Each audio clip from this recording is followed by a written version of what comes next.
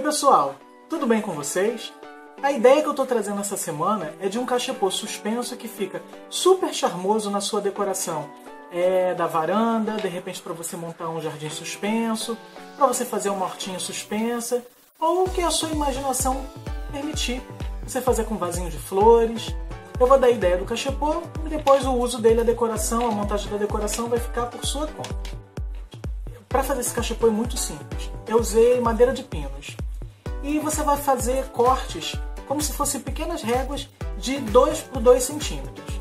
Depois dessas réguas inteiras você vai serrar e você vai precisar de pedacinhos de 20 centímetros.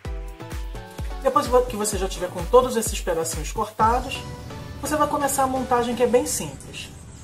Para fazer a montagem você vai utilizar cola do rótulo azul, cola branca normal e preguinhos. Os preguinhos eles podem ter em torno de 2 centímetros, 2 centímetros e meio, que vai ser o suficiente para prender uma madeira na outra.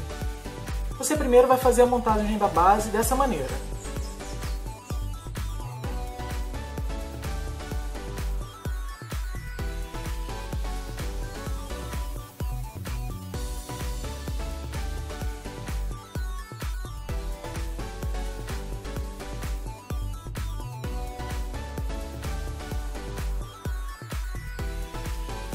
Depois que a base já estiver montada, você vai intercalar essas pequenas réguas de 20 centímetros que a gente cortou é, dos dois lados.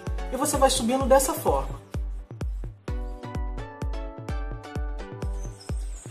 E aí é uma sequência. É só você ir pregando, passando a cola, pregando o preguinho, até você atingir o tamanho total e ficar com esse resultado. Com isso você já vai ter um cachepô de repente, se você não quiser fazer ele suspenso, você pode usar ele dessa forma para, de repente, decorar uma mesa. É... Mas aí a gente vai fazer a amarração. Para fazer a amarração, você vai precisar de corda. Eu estou usando aqui essa corda que eu tenho, que eu utilizei num, num projeto passado e sobrou. E você vai precisar de um metro e meio. Duas tiras de um metro e meio. Você vai fazer uma amarração simples dos dois lados E depois que já tiver com essa amarração, para garantir o nó, eu coloco uma, colinha, uma gotinha de cola, de super cola.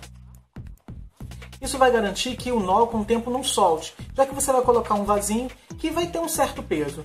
Não é muito pesado, é leve, mas é bom para garantir essa gotinha de cola.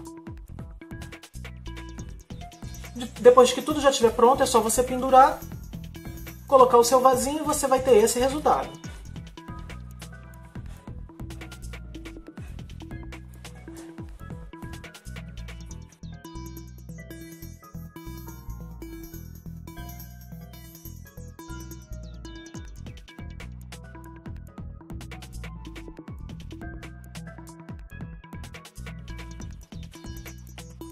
E aí, gostou do projeto?